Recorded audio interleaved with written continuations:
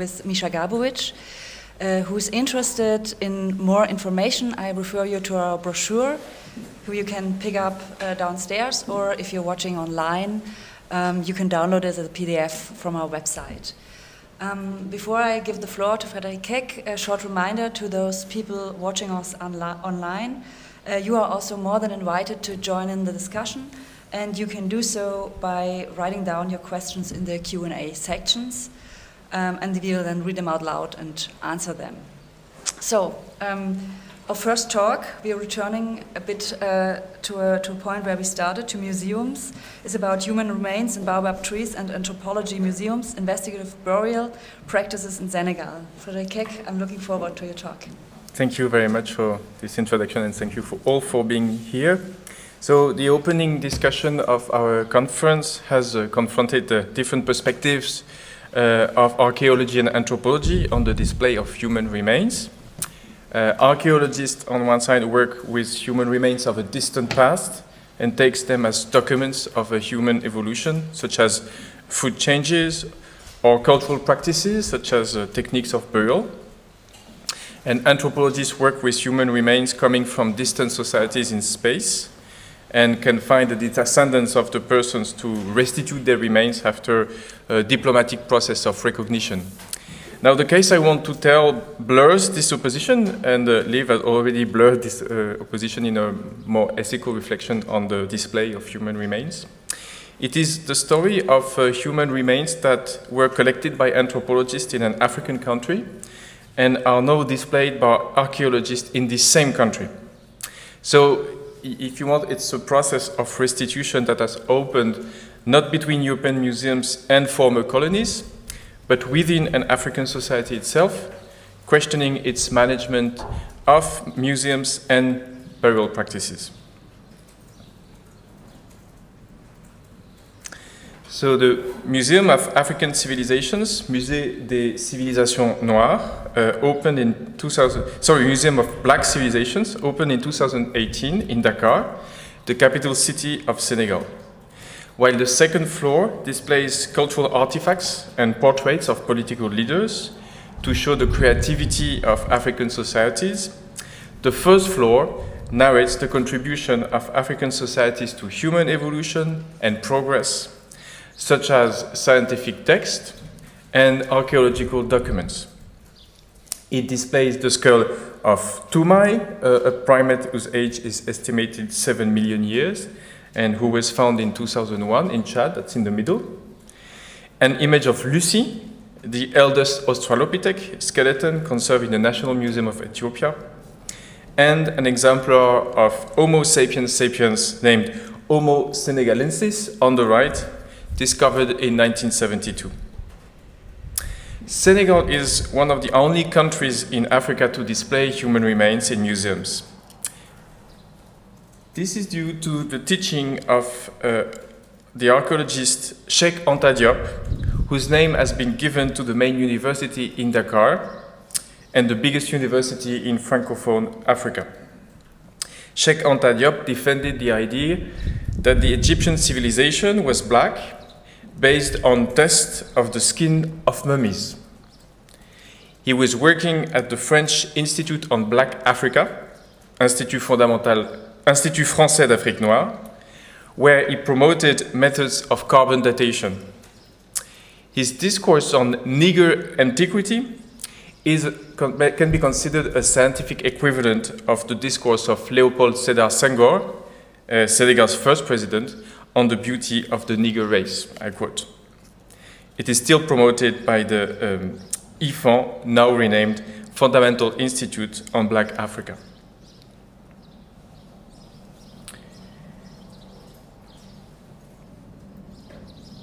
I became part of a team of archaeologists working at IFAN on human remains when I was working at the Musée du Quai Branly in Paris. They had been in contact with anthropologists who wanted to study the microbiome of African populations before their transformation by European colonization, in particular their food and hygiene practices.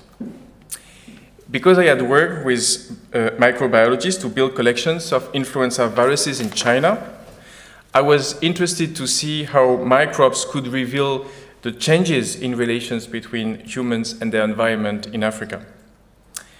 I was also interested to see how African museums would handle the use of human remains for biological research. This international research team was supervised by Ibrahima Thiaw, an archaeologist teaching at the University Cheikh Anta Diop in Dakar, who had studied in the United States. He sent to the anthropologist, um, to anthropologists at McMaster University in Ontario, a set of teeth from the skulls that were conserved, conserved at the IFAN. The team in Ontario analyzed the calculus in the calcified dental pulp to see um, what kind of bacteria they found and if they were different from the oral microbiome of the contemporary uh, Senegalese people. So I was not in charge of this analysis, of course. I was in charge of the relations with uh, the source communities. That's the term used in these protocols. The goal was to practice uh, participatory archaeology in which the findings would be shared with the communities to help them build genealogies we needed to receive their consent to do the genetic analysis of the microbes in their teeth because it was an, an invasive method that destroyed small, a small part of the teeth. So the first time I entered the meeting room of the IFAN, I was struck to see the shelf where human remains were conserved in the back of the room without a door or a window. That's the, the picture on the, on the left side. And I should have uh, warned you that there would be um, many human remains in this presentation, and that's actually what students have in their meeting room all the time. So, um, so they, I, I, was not warned when I entered this room, and I was quite shocked to, to see this. Uh, one of the students, uh, Lamine Gueye, was doing Muslim prayers on the side of the room without considering these remains as spiritual or personal entities. Lamine was in charge of investigating the burial practices that made these human remains available. So they were the remains of Griot, a social class in Senegal societies, in charge of singing, cooking, making instruments, and reporting news. Because they had the power of speech, griots were supposed to pollute the soils if they were buried in the soil. Hence, they were buried in baobab trees, gigantic trees growing in the savanna with hollow trunks. And they have holes in, in the bark. This burial practice was particularly spread in the Serer country, the most rural part of the country, uh, so it's the southeast of Dakar. Leopold Sedar Senghor, who came from this area, and was educated in Catholicism before joining French elite schools, prohibited this form of burial, burial when he came to power. He allied with Muslim authorities who considered that having a separate burial for part of the population was a rupture of the, of the equality of all humans in front of God. For Ibrahim Thiaw, the archaeologist, who also grew up in the Serer country, and his student Lamine Gueye, who grew up in the Lobi area of Casamance, burial in baobab trees was a superstitious practice that needed to be documented to engage in participatory procedure with the source communities. In the natural reserve of Bandia, situated 60 kilometers uh, away from Dakar, so not in the Serer country, um, the tour of animal species offered to visitors ends with this baobab tree where a skull is visible to visitors, and the guide presented as a tradition of the rural communities of the Serer country. And this is a picture you can find in many guidebooks of Senegal.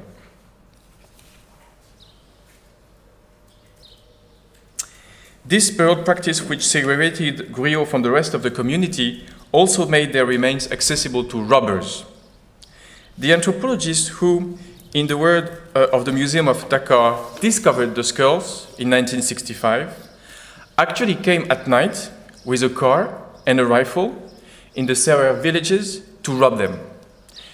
Guy Tillmans was born in 1922 in Belgium and died in Dakar in 2001.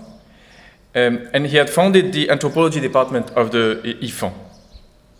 He relied on the help of Cyr Descamps, a military officer, to conduct these nightly operations. There were fights uh, with the villagers who knew he came repeatedly, and when we returned to these villages, almost 60 years later, people remembered that the baobab trees had been looted by a white man, which made our uh, diplomatic mission more difficult. Even if most of the members of the mission were uh, Senegalese, I, I was the white man who remembered of this time, who reminded them of this time. Um, Ibrahima Thiaw had condemned with strong words the robbing practices of Guy Tillmans in a book published in Leiden uh, in 2013. And um, he condemned them for both for moral and scientific reasons. And I read part of the quote. This was done without, he, particularly criticized the, the fact that the skulls were separated from the bodies and from the objects with which they were buried. And I quote, this was done without any concern for the impact this practice could have on the emotional well-being of the local populations who related to the sites and without concern for contextual information. Although Tillmans and Descamps might have thought they were doing this for the benefit of science, this practice is to be condemned because it poses ethical and moral problems. Yet, Ibrahima Thiaw uh, was accused of coming with the same intentions to cut skulls for his research.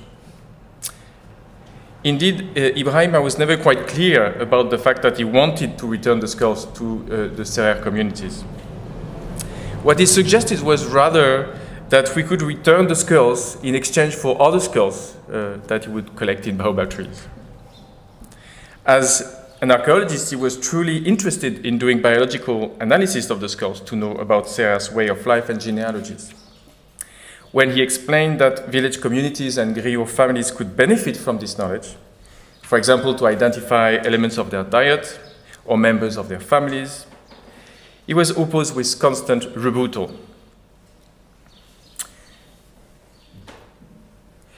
Lamine and I were in charge of ethnographically documenting burial practices. The villages we visited had Christian and Muslim cemeteries, where people had been buried in the last 50 years. But before the independence and the modernization of Senegal, particularly through the control of crops by the Muslim authorities called Mourides, villagers were buried in their own houses or in their own land.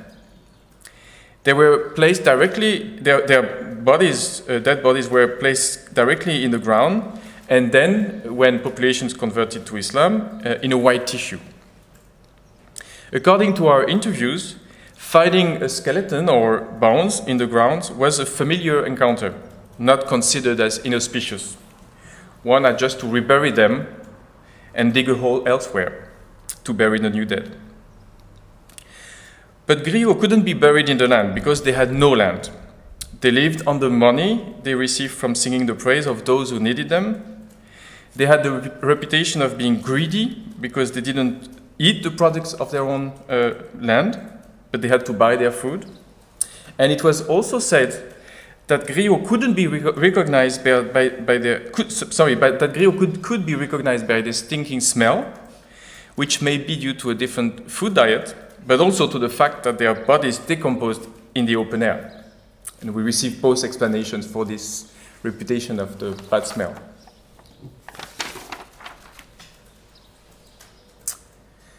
Um, the narrative we collected showed that the burial of griot in baobab trees was not producing fear among the villagers, but was rather part of some experimental knowledge.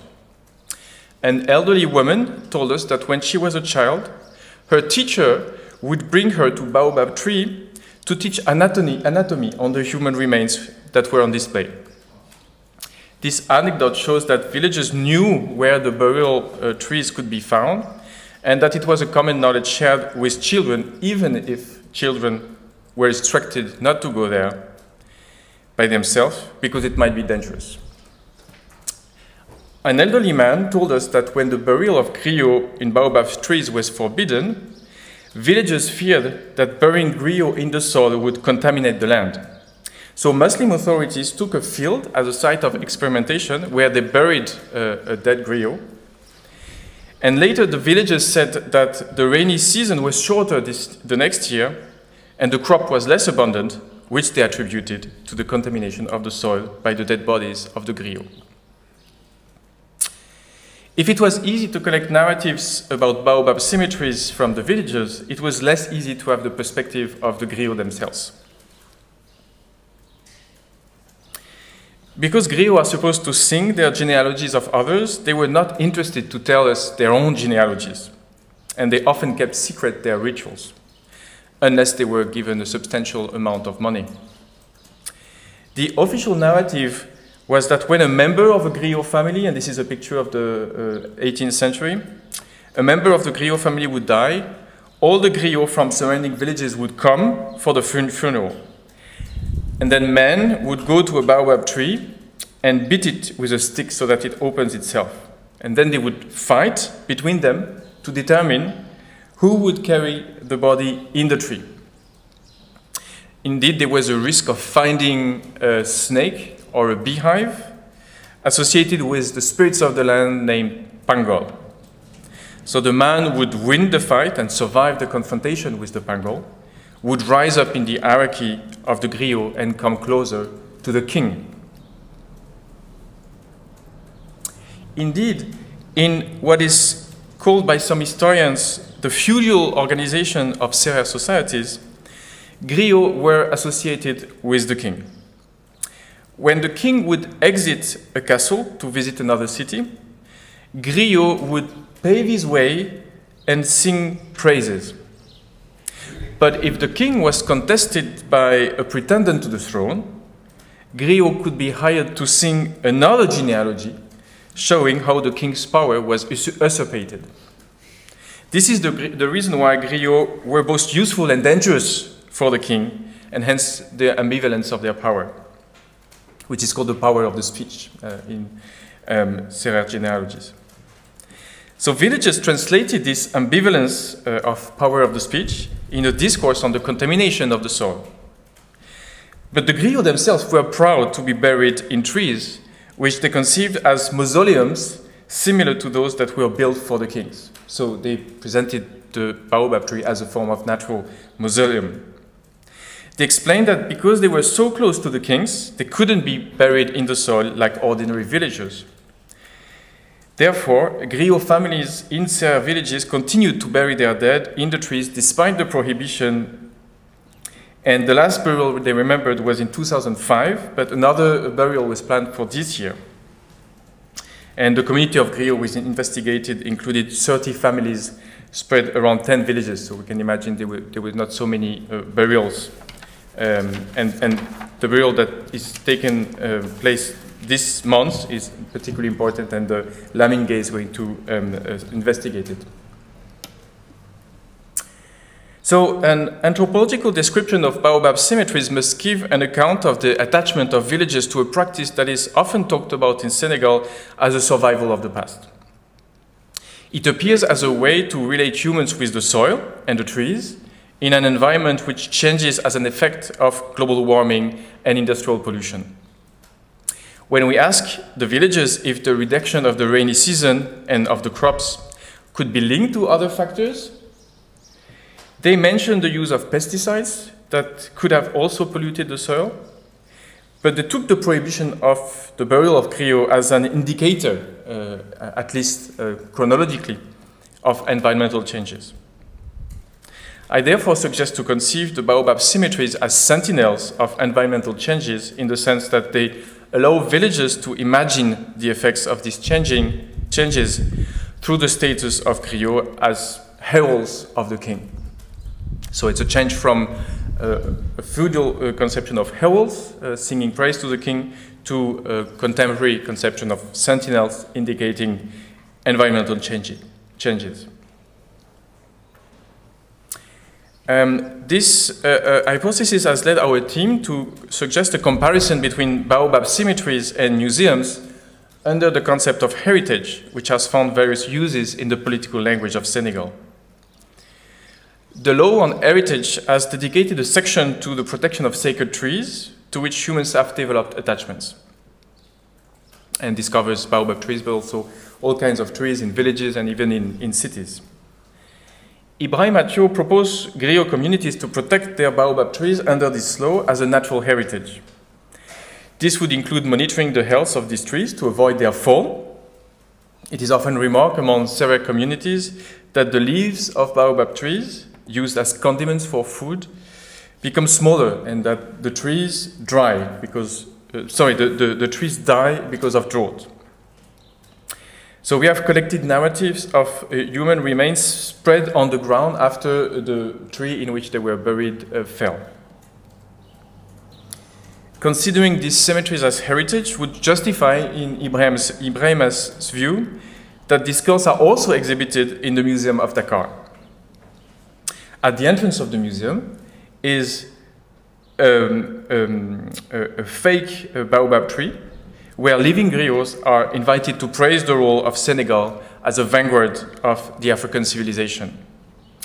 President Macky Sall declared at the opening of the museum, uh, and that's the, the, quote on the slide, throughout the ages, Africa has invented, shaped, and transformed, thus participating in the constant flow of innovation. Our duty is to remain the vigilant sentinels of our antique heritage.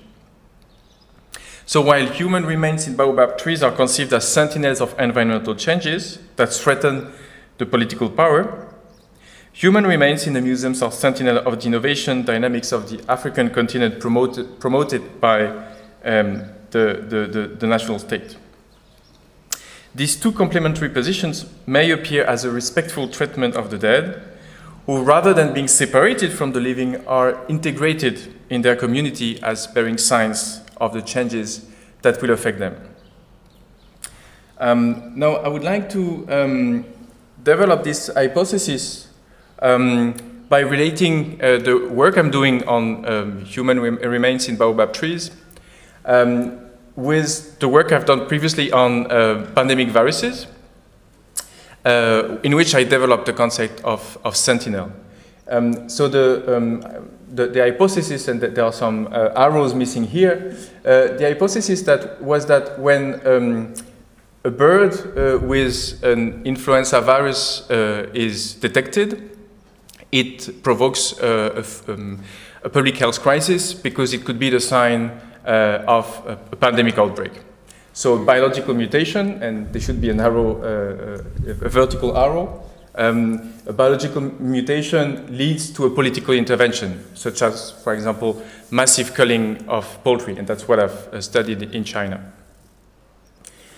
Now, uh, these are very spectacular moments uh, when uh, birds in some way become symbols uh, of uh, collective identity because they, um, they bear the, the, the, the um, they, they, share um, contagion with humans, but at the same time they are separated uh, from the human community.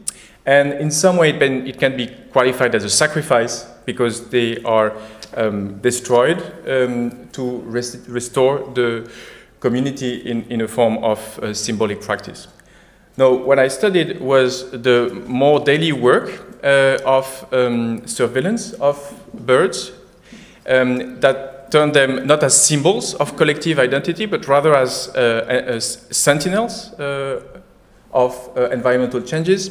And this surveillance involves a wide range of actors from those who work with uh, uh, birds as living beings, um, so in the food industry, but also in the markets and in the wild bird reserves, to the other side, which is when birds are considered as, as, as commodity, uh, and that involves uh, uh, associations for the protection of animals, but also the, the media, the health authorities. And in the middle, microbiologists play a mediatory role because they can follow the transformation of the birds between these two poles uh, uh, with varying uh, signs of potential contagion.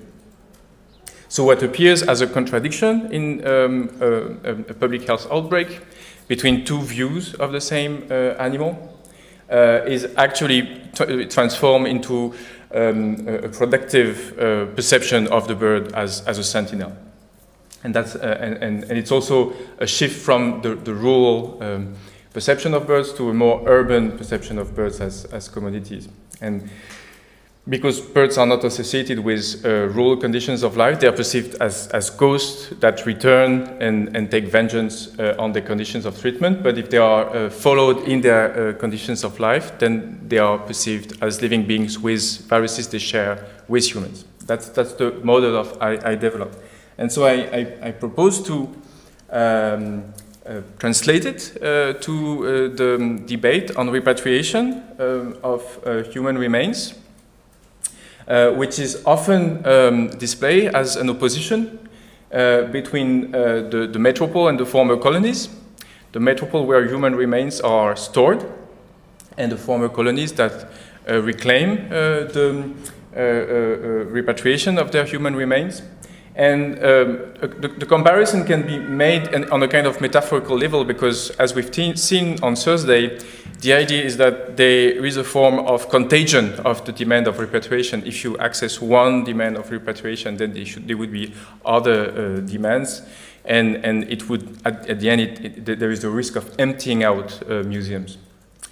Um, so um, uh, when uh, there is um, a, a, a, demand that is accessed uh, by, there is a political ceremony of repatriation, and this uh, remains become symbols of uh, a collective identity.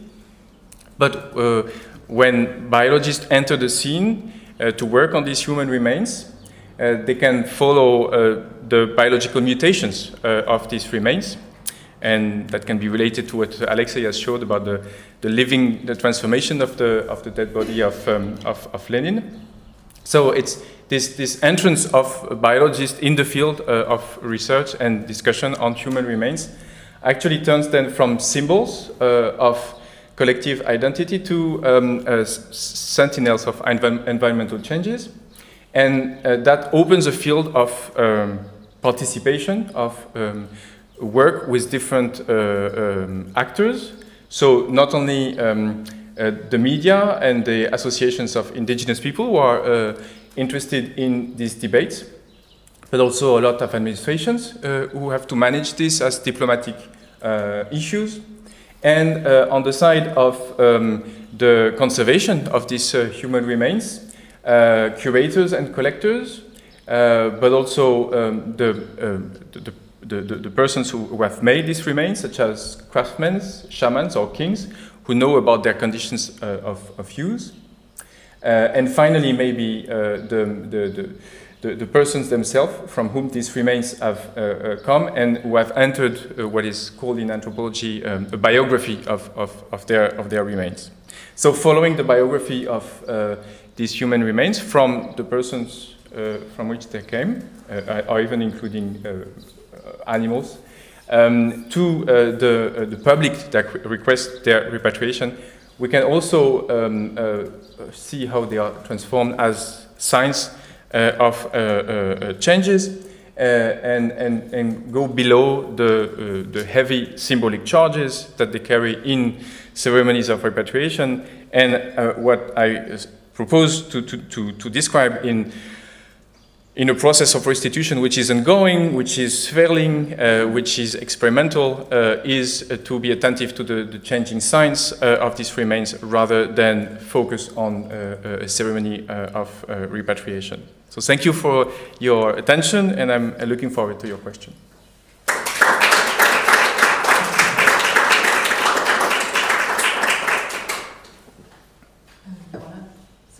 Yeah, okay. Yeah, thank you very much. And I'm uh, inviting you to ask questions or to comment on the. Yeah, uh, Misha Gavrit.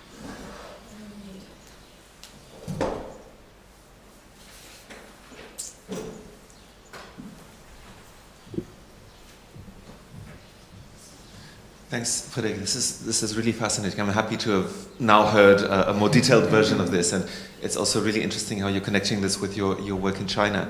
Um, I, I just have a very banal question. Can you describe the actual process of burial in a little more detail? So, mm -hmm. you said that the the tree trunks are hollow, mm -hmm. and then they hit them with sticks until there's an opening mm -hmm. at at some level, which I didn't quite understand, and then they just put the whole dead body in there vertically, or I mean, can you like give a few more details Yeah. because I don't I don't Yeah. yet picture how, how this works exactly. Um, so uh, in the narratives, they open the, the tree. Um, uh, they, they, they, they, hit the tree to open a hole in the tree uh, because that's part of showing the strength of the, the person who uh, fights with the tree. Uh, but uh, um, physically, uh, baobab trees have holes, so it's possible to actually put bodies uh, inside. And um, from the observations that have been made uh, uh, of the remains, they uh, are, uh, put um, standing. The, the, the dead bodies are um, so so are entered in the hole, and, and the, the hole must be big enough for the body to keep standing. And so that when the body is entered into the hole, the, the, the, the, person who, who puts the body needs to clean uh, the, the hole uh, of, of the previous human remains.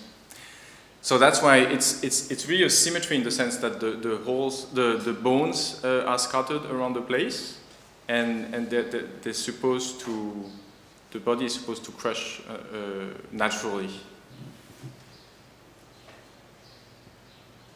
But the respectful position is to uh, display the, the, the body standing. Immediately after death. I don't know if it's immediately after death, but I imagine because there's, there's no con conservation of the body. We have another. Oh, uh, that, yeah. We have another question by um, uh, Liv Nilsson Stutz. Thank you so much. This is uh, such a great talk. Thank you so much for the work and, and its interesting connections also with the pandemic. There's, there's a lot to unpack here. Um, but I, I was really curious to, to learn more about the attitudes from the Senegalese state in terms of exhibiting human remains. Because what you showed us was um, ancient species like uh, Toumaï and uh, Lucy, and then this Homo senegalensis. Uh, and then you showed us uh, this collection of crania from this particular group that, from your own uh, Mm. description, is kind of very liminal and um, living kind of already on the uh, margins of um, the dominating culture. So I was wondering, what is the policy of the museum in terms of exhibiting uh, human remains from other groups? Is that done in order to build this narrative of uh, black civilization? And uh, uh, is there any distinction being made between the treatment of the human remains from, from this particular group? The, the, how do I spell that? The, no, the, the, the, the, um, the griot, The griot. Mhm. griot, uh, and, uh, and other ethnic groups. Mhm. Um, so the, the, the, the president of the Museum of Black Civilization is an archaeologist um, from the IFAN, uh, and he uh, wants to build a narrative that um, um, all humans descend from Africa, and so Africa must take the lead in the history of civilizations. And it, it, it doesn't, um, it is not a nationalistic uh, uh, narrative. Uh, it doesn't promote uh, uh, uh, ethnics from Senegal.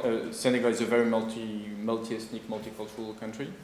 Um, but it, it- wants to revert the idea of the um, outside of Africa and, and, and show the, the, the history of, of divergence of different eth- ethnies in, in Africa. So, so that's why they can display uh, skulls from all over Africa and not only from, from Senegal.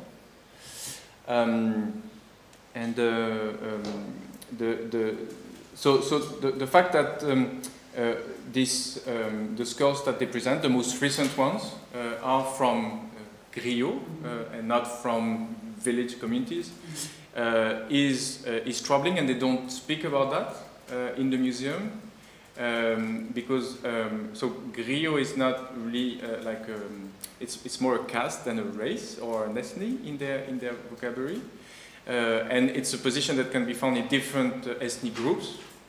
Um, and uh, it's it's often the, the griots are former prisoners, so the the, the status of of griot uh, is, um, is is discriminatory, and they they're supposed to come from outside, and that's why they have this power of speech and not this power of the land. So they don't uh, they don't publicize the fact that they come from griot, uh, and they, they they prefer to have uh, narratives of the um, ethnic ethnic groups attached to lands, and but uh, an archaeologist like Ibrahima Thiaw studies the migrations uh, of uh, groups all over the African continent.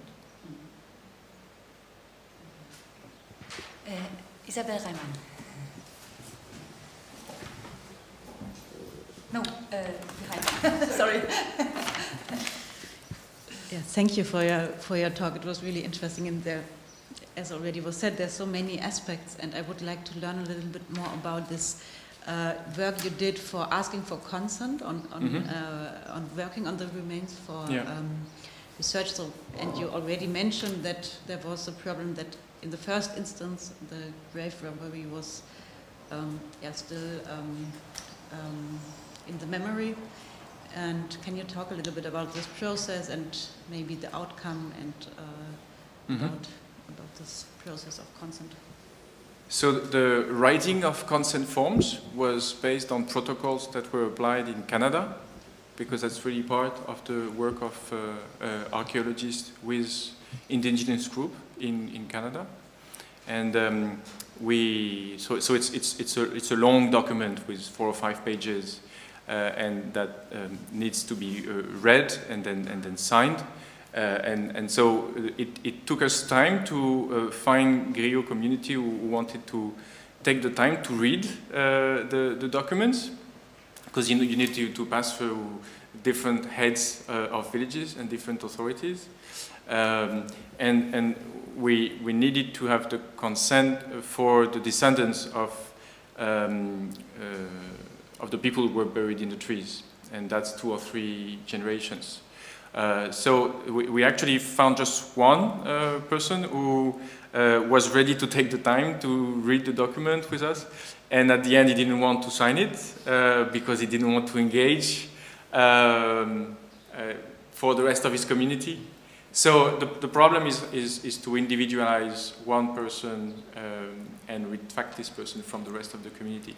So I, I, I mean, in my view, this procedure failed uh, uh, to um, uh, grasp the, the, the dynamics of the, the work with the community.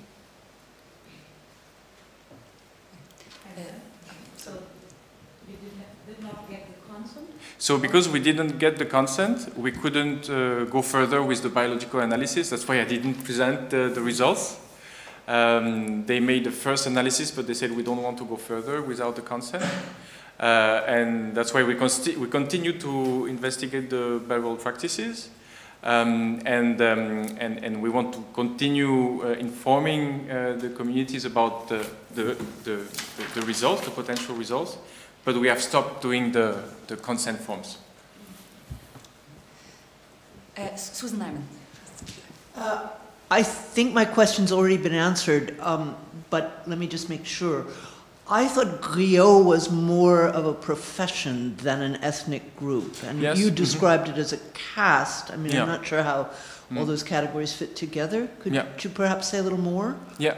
Um, so i it's uh, there, there are two groups uh, that uh, are um, set aside from the the land, who are the um, um, the, the griot and the, the, the blacksmiths.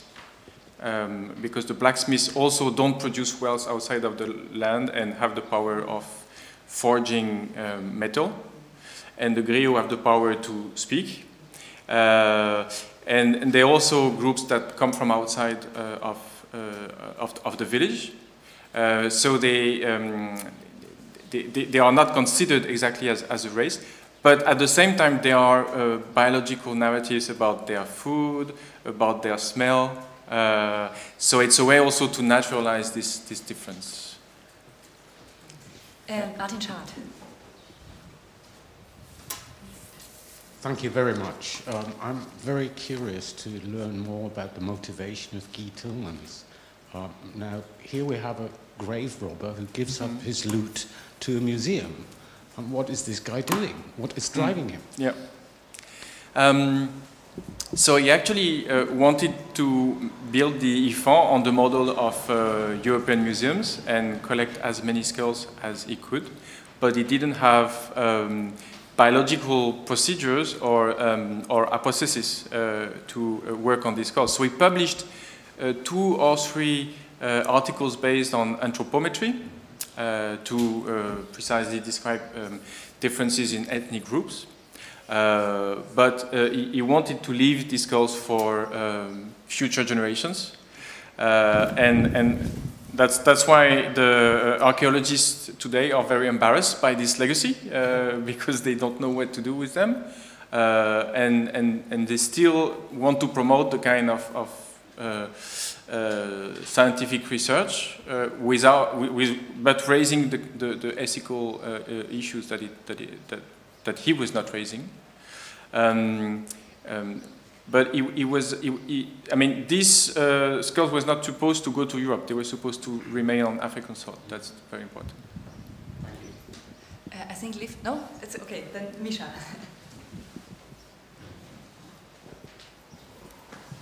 So I think you said that Senegal is one of very few countries in Africa that present human remains in museums.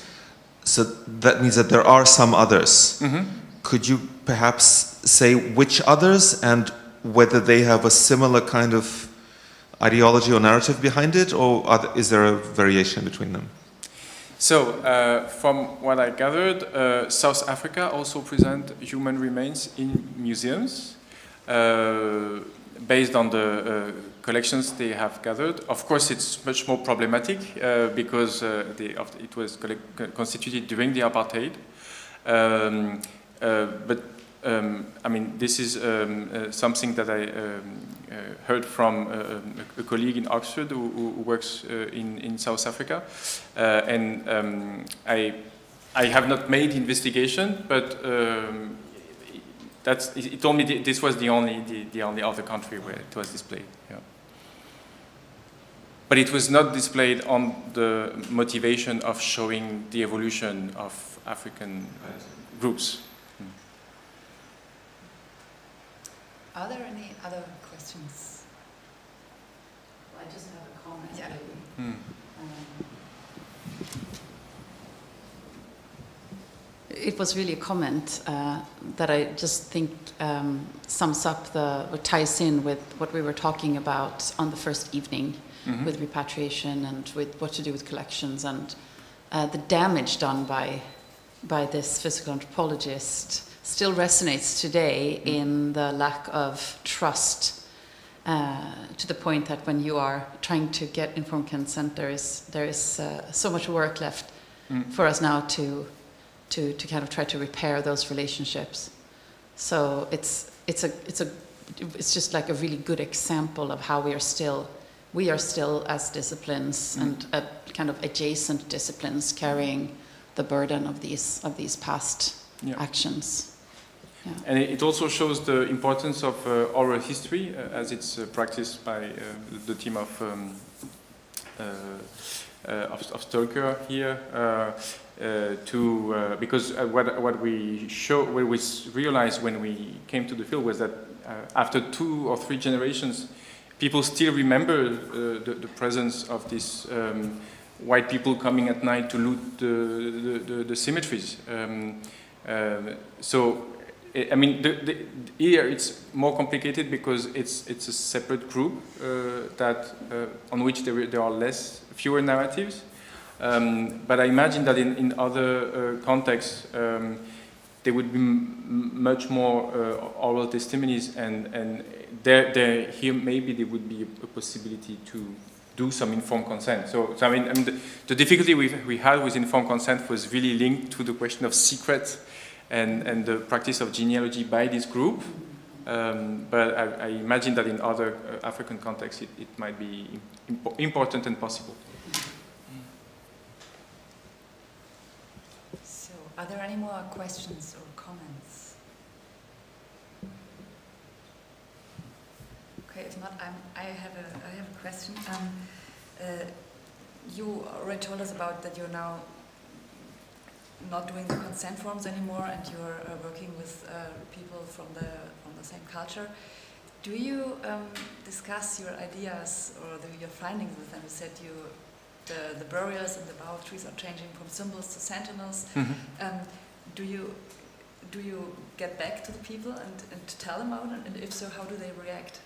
Yes, that's, that's very much part of the interview we make, is that we ask them for um, food uh, and environmental changes um, in the last 60 years.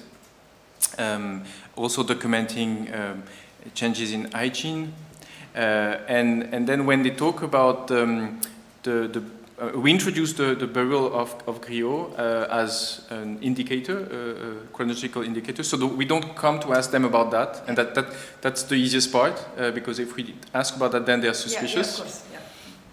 Um, and then uh, we try to discuss about the correlation between the, the abandonment of the Griot burial and the environmental changes. Yeah. And sometimes they make the correlation, uh, I mean, uh, naturally. Sometimes they make it more spiritually, Okay. uh, and we trace and we trace that. Yeah. yeah. Yeah. Okay. Okay. So, if there are no more questions or comments, then first of all, thank you very much for your very enlightening talk and for the lively discussion.